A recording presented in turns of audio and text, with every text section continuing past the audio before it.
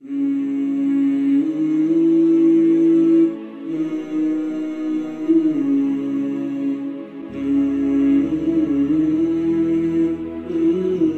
beauty queen of Democratic Republic of Czechoslovakia, Marketa Korenkova embraced Islam after repenting to lead the life of Christianity.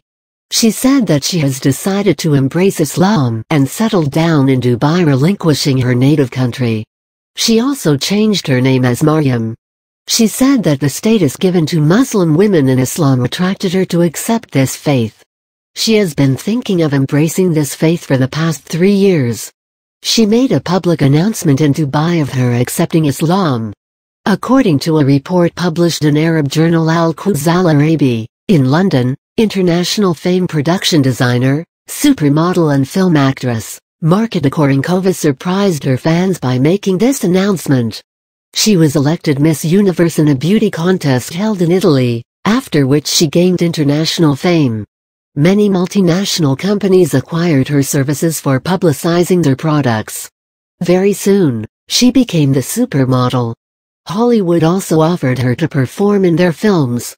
In the film Me90LOVE, she had played a key role. She held the position of director of Prague's Film Academy FAMU. She is an acclaimed international designer. She also has an advertising company in Prague.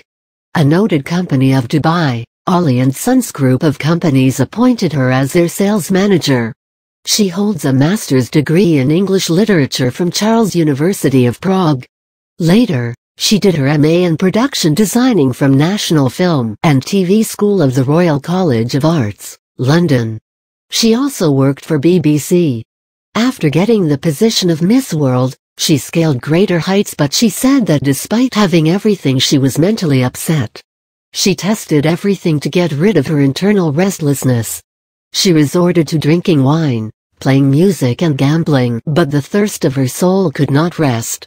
On the advice of one of her friends, she started studying various religions three years back. As a born Christian, she did not find solace in Christianity.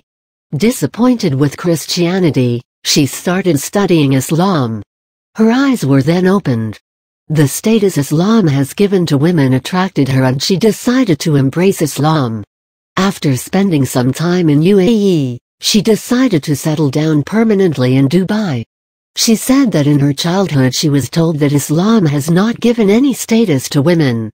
When she studied Islam, the truth was exposed that Islam has given a pious position to women whereas the West is playing with women in the name of freedom.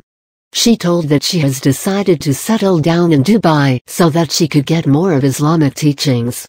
She expressed her feeling that for a long time there was a burden on her heart and she was restless without any reason. When she recited Kalima, her restlessness came to an end. She has given up Western garments and started wearing hijab. When she posted her photographs with hijab, millions of her fans got surprised. They thought that she has posted these pictures of her taking part in Arab fashion show. When she announced that she has embraced Islam and changed her name, their surprise increased.